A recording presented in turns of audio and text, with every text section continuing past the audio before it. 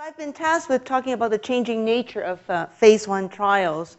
You can see the lines of phase, in, phase one, two, and three are really blurred. So in, in some of the slides, we do overlap with uh, Dr. Blumenthal's um, talk, but uh, we'll, we'll try and tease out what really is still within the phase one domain. Here are my financial disclosures. Uh, I work with a lot of companies, so I'm not conflicted in, with anyone. Um, so I think I'm really standing on the shoulder of the giant. I, I really cannot go through every paper that Bruce has written because I will take up my 45 minutes and uh, I can step down after that. So he's really been the, the leader in this field. And as you heard from the last couple of talks, that uh, there's a lot of basis that he has published that we all sort of build upon. And, uh, and I'm grateful to be here to, to speak on this topic that I know is very dear to his heart. So I think we're very familiar with the traditional drug development paradigm, phase one, two, and three, which I think we're still trying to stick with it in some of our clinical trial design, but it's becoming increasingly difficult to actually use this framework, which I think is becoming less and less relevant in the genomics era and the immunotherapeutics era. I think we're dealing with now a paradigm that is more like this, where we are in the early part of the drug development trying to find a proof of mechanism that if we cannot even prove the mechanism of the drug, that we would abandon it very early.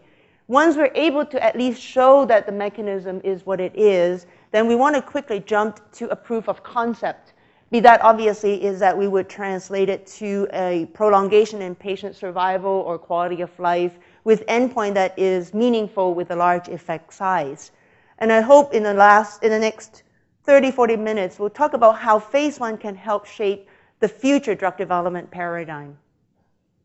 So the objective of my talk really is to describe features as a phase one oncologist that I see day to day, what's changing in our phase one clinical trials development in this new era of new oncotherapeutics. And really understanding why these changes are happening and, and really their implications in the drug development process, not just in the technical development of the drug, but also from the clinician point of view in terms of day to day to our patients to the financial implications. So these are the topics that I would like to cover. The trend in terms of the increase in sample size of phase one trials. We heard a little bit about expansion cohort. I'll talk a lot more about expansion cohort because it seems to now dominate a lot of phase one trials uh, that are being conducted for multiple purposes. The enrichment strategy as early as in the phase one setting in terms of selection for histology or for genotype.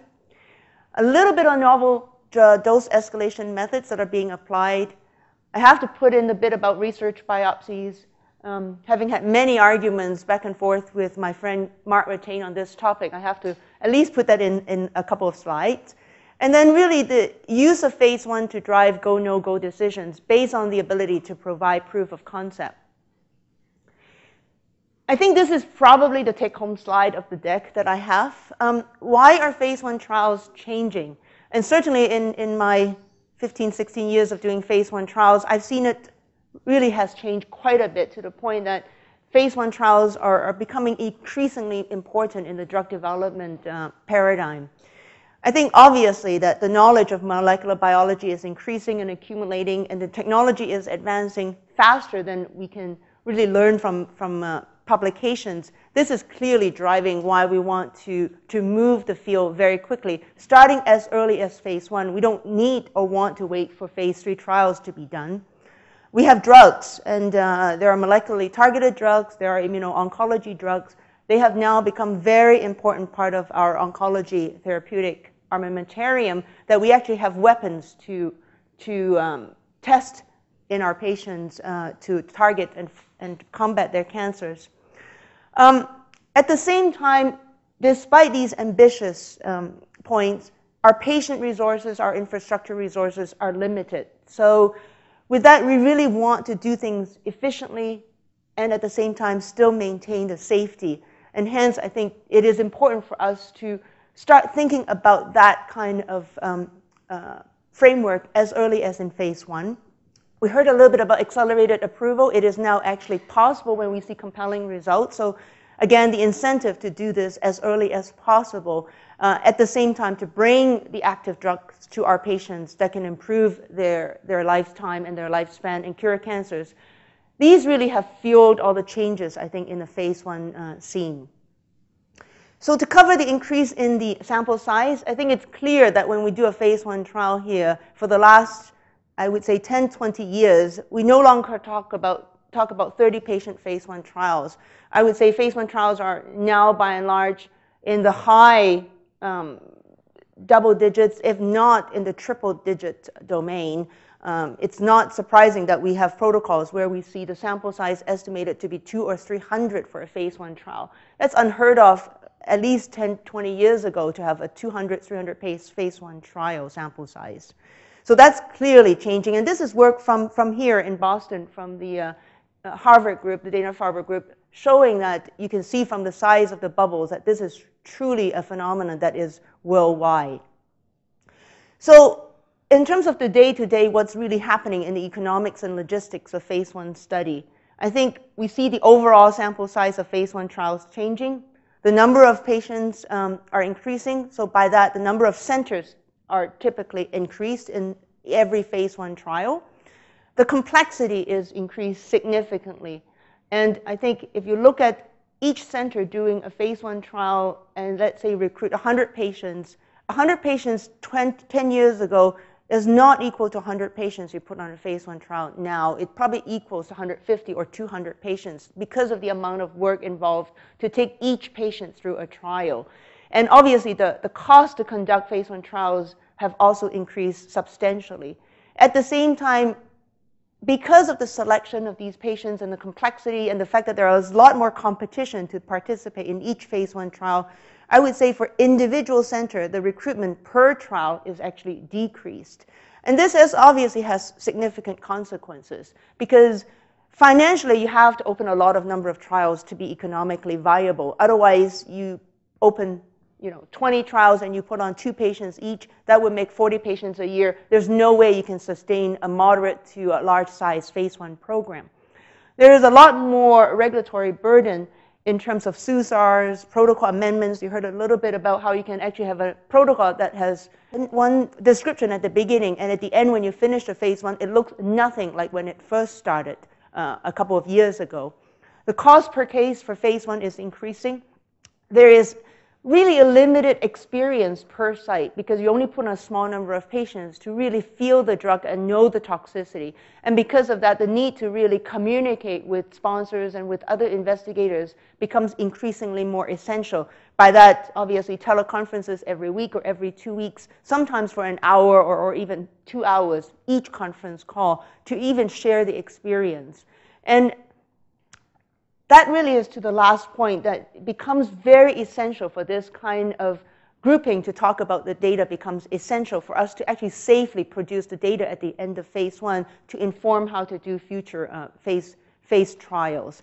And I think these aspects of the changing phases of phase one really have been quite dominant in, in the last decade.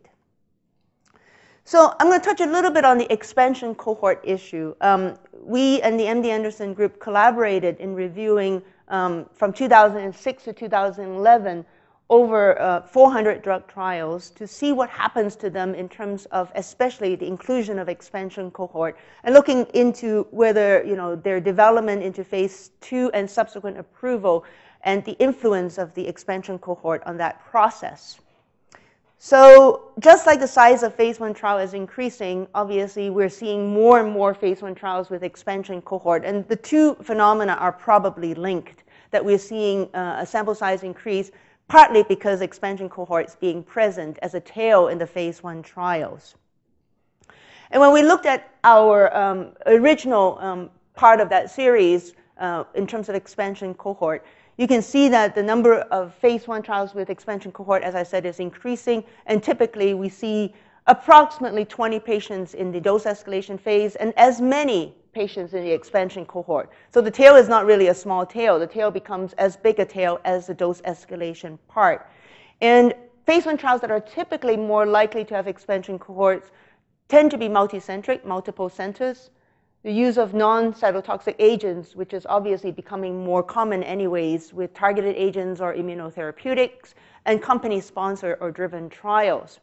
And our exercise was really to understand when papers are published that describe phase one trials, whether the objective of expansion cohort is well stated. And in most of the cases, uh, they are stated but not well stated, and in many of the cases, they're not stated at all. And you can see the function of expansion cohort varied. There are some to really better understanding the safety of the specific agent. Some are to look at the efficacy, even though it is not supposed to replace a phase two trial. There's a wish to look at early efficacy to see if there's a hint of activity by putting a few more patients at the end of your dose escalation to get a bit better signal. Um, there are some that do want to look at pharmacokinetics in a, in a more um, homogeneous population, especially at the recommended dose. Likewise, for pharmacodynamics, to look at the molecular effect, again, in a more homogeneous group of patients at the recommended dose or looking at patient enrichment and somewhat tied to the efficacy question to see whether there are any hints in specific genotypes or histology. And if you look at really at the end of a phase one study with the expansion cohort, the change of your MTD or your recommended dose because of this expansion cohort is about in 13, 10, 13%. And new toxicities are defined in about half of those cases that have expansion cohort. When we collaborated subsequently in a part two of that series of MD Anderson, we looked at really whether having an expansion cohort predicts any sort of better outcome for the trials. Granted that this is clearly confounded because you wouldn't do an expansion cohort if you don't think the drug is going somewhere. So likely you'll tag on an expansion cohort or two or three because you think that you've seen enough in the early part of the trial that the drug has activity and you want to actually study more before you prepare your phase two or phase three trials. So yes, it does ultimately lead to a higher time to approval, but I think this is more of an association necessarily than, than causation. So having a bad drug and doing an expansion cohort does not make it a good drug, clearly. And we even went further to look at the multivariate analysis in terms of time to drug approval and having a large expansion cohort seems to be associated more than any of the other factors to lead to a faster time to drug approval. Again, it is a circular uh, hypothesis because a, a, more promising drug that you want to put on more patients at the end of phase one likely means it is an active drug that would ultimately lead to approval, perhaps even in an accelerated approval fashion. I want to touch a little bit on the recent phenomena of a lot of immuno-oncology trials having I call the, the multi-fish hook and multi-fish basket designs, where you have one protocol with literally 20, 30 groups of patients. Um, technically, these are not phase one trials because most of the time you already have the recommended dose. You're using the same dose across all 20 um, fish baskets, and you're testing different cancers or different um, uh, subgroups of patients. This is extremely commonly used in the IO scene, where I think every company that has an immuno-oncology drug has one or two or three more of these trials to, to really help them signal find very quickly in terms of the tumor types that they want to ultimately expand. And as we have heard, some of these actually have led to uh, accelerated approval, breakthrough indication for a couple of the agents because of a large basket that they have subsequently expanded. So this is just an example of a protocol where you literally have a lot, a lot of groups within the same protocol. And this is the point I was speaking to, really the complexity for phase one group doing essentially almost like a phase three trial in their, in their um, group, um, where you actually have multiple cohorts opening. And typically they fall into a phase one program because it's hard to imagine a phase three group for example, taking on such a study when you have so many different tumor types. So despite the fact it is truly not a phase one trial in terms of design or dose finding, it becomes by default a phase one protocol to conduct because this is the most likely um, uh, group of individuals in the hospital that would see a different variety of patients and have the capacity to handle trials that are so complex and, and so vastly changing. And we, we initially had a lot of comments from the IRB saying these protocols are just way too complex. How can we safely actually handle this um, in one protocol and one uh, document? But I think more and more they're starting to find out that we probably have to take that into account that these are the protocols that are current and probably of the future, that we just have to educate them and help them um, in terms of guiding them through the review process. And um, including the multiple amendments when you have protocols like this, that becomes very, very um, multi multiple and complicated in terms of the process of review and approval in the IRB. I want to touch a little bit on the enrichment strategies um, that will overlap a little bit with the prior talk. I think this is the paradigm that we are used to in many years ago when we do phase one trials. You really want to look at the safety of the drug.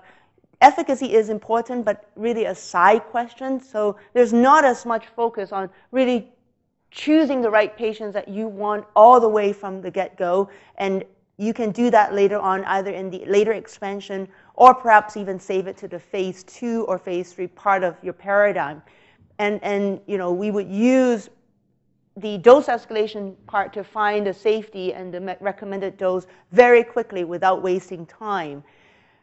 I think we're now more and more used to seeing the design where we are specifically asked to choose very specific tumor types or molecularly enriched patients with specific genotypes. And we would have to, from the get-go, find these patients which could be tumors that have very rare mutations. For example, um, IDH1 mutations, PIK3CA mutations, or ab aberrations.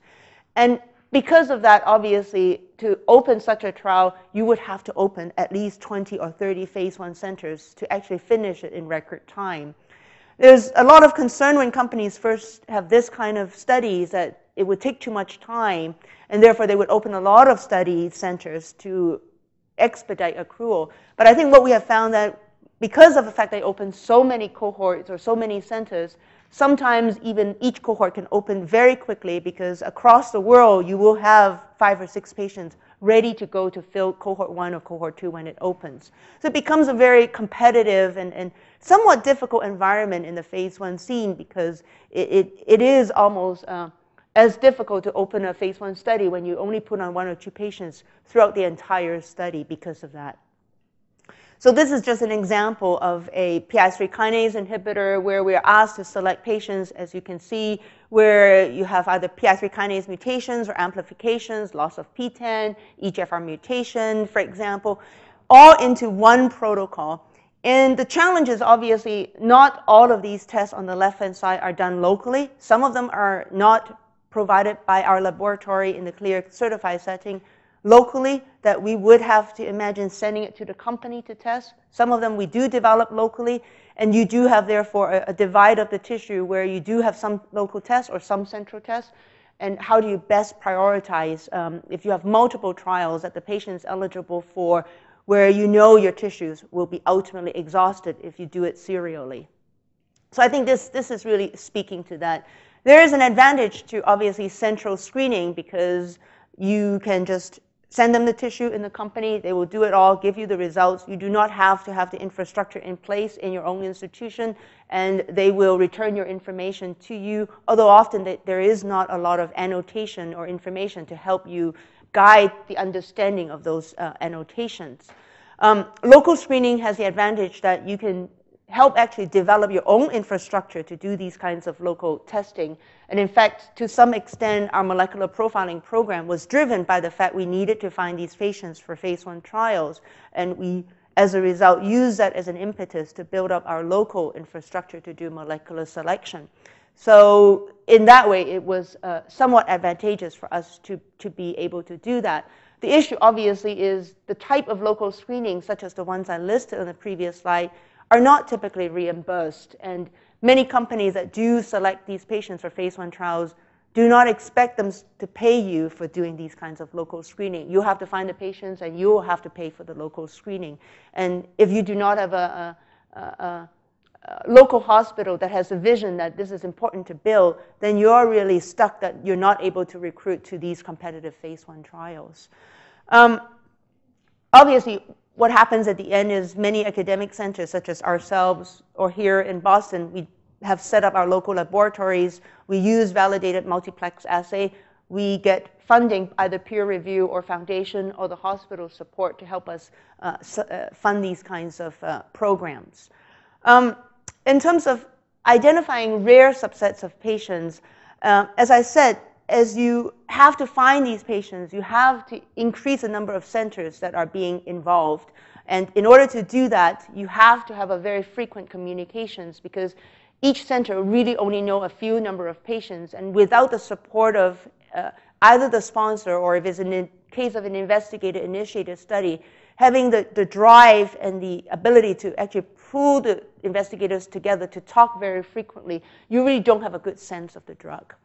And the other way, when you have very rare molecular subsets of patients, is to even open basket trials and umbrella trials, like you heard earlier, in the phase one domain, again, because you want to be able to translate the results of the molecular profiling into some sort of outcome. And by that, the most, the most useful way is to put them on genotype matching trials.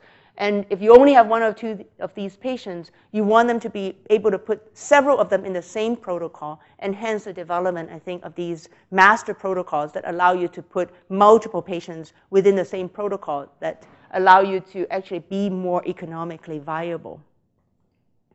So this is really what I think most programs in, in the world are now doing, whether it's a fresh biopsy or archived specimen, that we are using this to have the results available ready in the electronic records to allow us to select patients, whether in the bottom they are opportunistically into different phase one studies or whether they are design umbrella basket trials that allow you to specifically put these into those trials that are looking for those cohorts of patients. Uh, I think that's really happening across the world.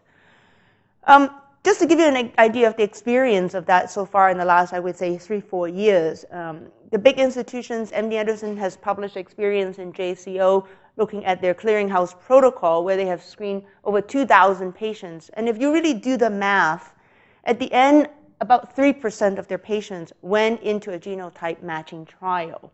And that amounts to about 54% of, of the patients. When we look at our data in uh, Princess Margaret, again, looking at patients that were um, genotyped using, in this case, it was from a 23 gene panel all the way to a 48 gene panel over the last three years. We have matched approximately 5% of our patients into clinical trials that are genotype matched. So again, very low number. And there are many reasons for that, obviously. And the, the most likely reason is that we do not have a lot of druggable mutations, as you know, um, in, in the current knowledge of genomics medicine. There are probably a lot of patients that have genotype that we do not have a, a, good understanding of their molecular finding to know what is the best way to match them. It's not as straightforward as a PI3 kinase inhibitor for a PI3 kinase mutated tumor. Patients can fall out while they're waiting for the results to turn, turn um, around. And uh, there are some screen failures where they, they just do not have sufficient tissue, for example, for us to, to genotype. But regardless, if you look at the experience worldwide for this type of endeavor, it, it's ranging around the low single digit to as high as you can see it's about 20%. Um, and the 20%, for example, in the Shiva study that was just published, is about 26% by the French group that is deliberately biopsying patients and matching them into very specific um, baskets of uh, drugs. And in that case, it's about a quarter of the patients. So we're, we're way behind in terms of our ability to profile patients and put everyone onto a trial. And if you look at in our experience, the matched patients, as you can see in the middle, the vast majority are phase one trials. Um, this is in the era when the, the baskets and umbrellas have not yet been open. For us, in order to translate these outcomes, the best way we could do is we have phase one trials that are looking for these patients. This is where we would match them. So it was very opportunistic, as I would put it. And if you look at the patients that were unmatched, they were typically in, in more even across the phase one, two, and three um, uh, types. And we did do a comparison, and, and the paper is being um, uh, written right now for submission, looking at the comparison between genotype matched patients and genotype unmatched patients. And there is a hint that the genotype matched patients have a higher response rate and a, a higher percentage of patients with any degree of tumor shrinkage. But obviously, that's a retrospective comparison that has all the caveats. But we are all trying to find a, a, a, readout that suggests that this type of endeavor is worthwhile, and at least that is our attempt to show that that personalized medicine um, is it's justified. So where are we at in terms of molecular profiling for our patients in the phase one scene at Princess Margaret? Um, we're actually going backwards. We decided we're not going to use our 48 gene panel anymore because when we looked at our experience, the vast majority of patients that we match onto the trial could have been found using a much smaller panel. So we decided for cost reasons, we're actually going to look at a larger number of patients with a smaller panel of genes so that we can hopefully identify more patients using this smaller panel that is more uh, economically viable. So when we look at our patients that are matched, as you can see in the bottom, 95% of patients could have been found on a smaller panel of 26 genes, which is the middle part plus the uh, left hand um, of the Venn diagram, where we're including the 26 genes instead of the right side, which is the, the 48 gene in the bigger panel. And we actually did an exercise when we looked at our, our patients that was on the molecular profiling study, which is our impact compact study, and we had put it all using the smaller panel, we would have identified over 90% of patients in most cases with these druggable mutations using the smaller panel. So what we want to do is to actually, as I said, cast a wider net, selecting the patients more carefully on who actually would likely have a druggable mutation use a smaller panel to test them. And then in addition, we will, using this big pool of patients that have been molecularly profiled using a smaller panel, identify hypothesis-driven questions to do much deeper dive. So we, we do have a much higher uh, panel and we have exome sequencing. But like others, we cannot afford to do a higher 500 gene panel on everyone or exome sequencing in everyone. So what we want to do is to be able to after deciding uh, who to broadly cast the net, select out very specific patients that we would use the deeper profiling to ask uh, very hypothesis-driven questions in instead of random um, uh, screening. And that's really where our molecular profiling initiative is going in, in Toronto. Uh, I won't cover too much about the umbrella uh, and, uh, and basket, since you heard a lot about this. We just recently wrote a review uh, listing some of the endeavors that are ongoing worldwide. Um, umbrella trials tend not to be run in the phase one program in our experience because they tend to be more disease specific. So lung, for example, lung map. We find that this tends to go more in the disease site group in our institution because they see the patients in, especially in earlier first or second line. On the other hand, we tend to do a lot of the basket trials in the phase one um, uh, domain, as I mentioned, because they tend to be mixed tumor types and they are specifically usually looking for aberrations of one or two kind. And it's sort of designed almost for a phase one group to handle because that's the kind of patients we see in the phase one clinic anyways. So we, we typically open a lot of our basket trials and we actually have our own uh, local design basket trial to allow us to uh, increase the actionability of our molecular profiling exercise. It's hard to justify to do molecular profiling and have no patients ever treated on a match because essentially you've done all that for, for, for no good reason other than to obviously generate the data and the repository that ultimately you can learn from, but you do want to be able to actually translate to some sort of clinical outcome.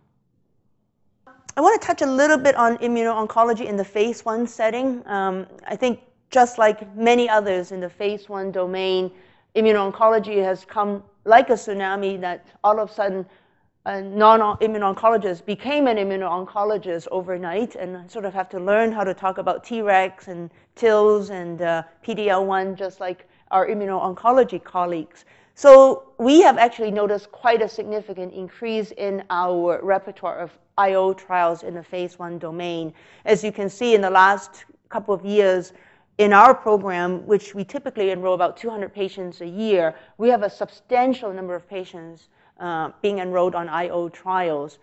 We've decided that instead of competing with the IO group, that we would work together with the IO group so that we can actually leverage each other's experience. And most of the trials that come now are either IO alone, IO plus combination, targeted, or IO-IO, that it makes sense for us to actually work together. So this has helped us actually to increase our experience in the, in the phase one domain at, the Princess Margaret. the complexity that comes with these trials is, as I said, many of them have specific selection for histology or, for example, um, uh, specific uh, features that allow you to actually select out patients in your clinic. And when you have six or seven or eight of these trials open, it becomes very challenging in the clinic to try and remember which patient population you actually have trial spots for and which ones you don't. And going to the community to get in patients for us to enroll in these trials become equally difficult because they said, well, which patients do you want? And we said, we're going to send you a, a, a map like this. They said, well, essentially you have asked me for every patient that we have because you haven't actually specifically highlighted which patients you do or do not want for your trials. So we try to send newsletter and highlight which patient populations we want, but at the end we decided perhaps a better way is to go electronic. And we're actually actively dividing an app. I, have seen the alpha um, format of it. We're, we're hopefully beta testing it uh, in the next few months to actually use this to help us in clinic. And if we can use it locally in clinic, we can then roll out to our community oncologists to help them at least narrow it down to what kind of trials might be available. We're a bit careful because we don't want the patients to come into the clinic saying, we want trial C only. You might not have a spot available, and it would be very difficult to disappoint a patient when you don't have those trials. So that's why we, we need to be careful in terms of how we do this so that it is actually an aid and not a burden in terms of uh, uh, allowing us to find the right patients for these trials and, and allocate them appropriately. But this is going well, and hopefully we can roll it out. And we're willing to share once we figure out all the bugs in, in this particular uh, app. So moving on towards the end, I think I'm going a little bit over. I won't be too much longer. I just a touch on the dose escalation methods. I think I think most of us are now familiar with going beyond the 3 plus 3 or rule-based design. So we have definitely been seeing a lot more model-based design, whether it is a EWOC or BLRM model-based design that requires uh, the expertise of a biostatistician really hands-on to help us understand how to fit the curve so that you have very little excessive um, overdosing or very little underdosing so that majority of the patients are in the middle zone of ideal dosing every time you accumulate data after each cohort of patients going through the dose escalation. There are some sort of hybrid rule-based, model-based, but still adaptive type of design that allow you to get a better confidence around your recommended phase two dose. And I think we're delighted to see that the newer dose escalation methods are actually coming into play in, in the protocols that we're seeing in the phase one clinic. A touch uh, just briefly touch on tumor biopsies. I think this remains extremely controversial in the phase one scene. Um, I think the important thing I want to point out is there is a difference between doing a tumor biopsy to identify a predictive biomarker to, you know, try to match them to a specific target uh, versus doing a tumor biopsy to purely understand the pharmacodynamics. And we're obviously very careful in, in, our explanation why a biopsy is done, whether it is done specifically to really understand the pharmacodynamic effects versus it actually allows them to get into the protocol because of a specific hypothesis. But nevertheless, regardless of what it is, patients are, are quite um, keen to go on trials and they're quite keen to obviously undergo biopsies if it helps them to get into a trial. And you have to be very careful in terms of the therapeutic misconception that you do not overpromise the benefit. But what we have found is that many patients are willing to go through biopsies. And we specifically did a survey and we asked about biobanking, and you can see over 90% of patients are willing to share their samples for future research, which is obviously important. And likewise, uh, this paper from the TGen group looked at the various tests in phase one trials in terms of patients' willingness to, to go through the various tests. Tumor biopsy is sort of in the middle, and as you ask for more and more biopsies, the willingness diminishes uh, in terms of enthusiasm and willingness. So, Mark, my friends, argument is that we have really learned very little in terms of PD biomarkers from biopsies that would ultimately impact on phase two and phase three dose or schedule. And this is where I think the pendulum really swings, depends on who you talk to. I think most of the, the people in phase one still believe that we need to see what's happening in the tissue to allow us to move to a later phase testing of a drug when you don't see clear clinical shrinkage of tumors. Um, I think especially in the immuno-oncology era, I think seeing you know, immune infiltrates is really gratifying for us to know if a drug is actually going to likely bring in the, the, the, T cells to help fight the cancer. So I think this part will remain somewhat controversial in the phase one scene. And this is really my last slide, and Dr. Blumenthal already um, um, covered a lot in terms of really we are now able to use phase one to allow us to accelerate approval of some drugs, not every drug, unfortunately, but some drugs. And these examples really stand out because to have a time to approval from phase one in three to four years really is unheard of compared to the past eight to 15 years time frame. So I think this is the future vision I have that phase one, phase two, phase three will be blurred. We basically are going to do smart trials. We can immediately select out after preclinical testing the right histology and molecular subtype, understand quickly through a very you know, nimble trial the pharmacology, toxicity, and then right immediately move into proof of concept where we find substantial benefit. And what I think we have nowhere covered at this point is really the whole question of dynamic and change. And I think Dr. Haber's point this, this morning was very enlightening, how we can incorporate some of these kind of circulating tumor cells or other strategies to help us dynamically follow tumors to understand the evolution and heterogeneity that actually we can move along with the tumor or even preempt it as early as in the phase one setting. But I think that part is at this point really not touched at all. And I think we still have a, a lot to learn in that regard. So I will skip my comments as well, but I just do want to put a, a pitch in that I think it's very important that we educate our, our study team, our patients, IRB members, etc., when we come to phase one, because things are really changing so fast that if we just take it for granted that this is happening and everybody should know it's happening, it it's much more difficult to run a phase one program. We find it much easier that now we have engaged IRB, explain to them frequently what is happening. We have periodic visits to the IRB to actually tell them, you know, what the changing scenes are in phase one to make actually all of our lives much easier to get protocols approved. I want to thank my phase one team in the hospital and thank you for your attention.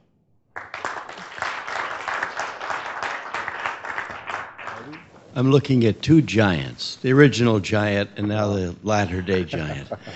Uh, Lillian, this is a, perhaps a self-serving question dealing with Project Data Sphere, as you know, that uh, entity of the CEO roundtable that's uh, data uh, acquisition, transparency, aggregation, making clinical trial data in all phases available for everybody for research.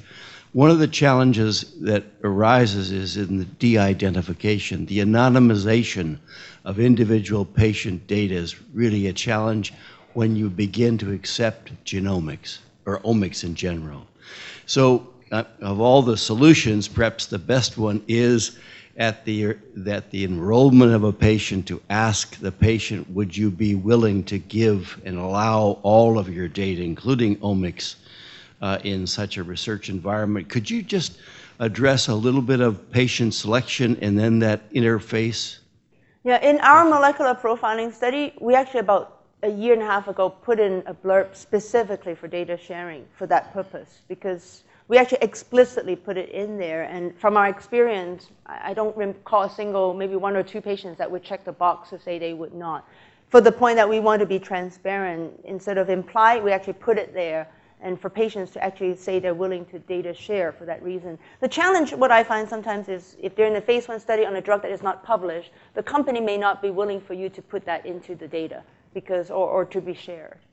And I don't know, I have solution to that barrier.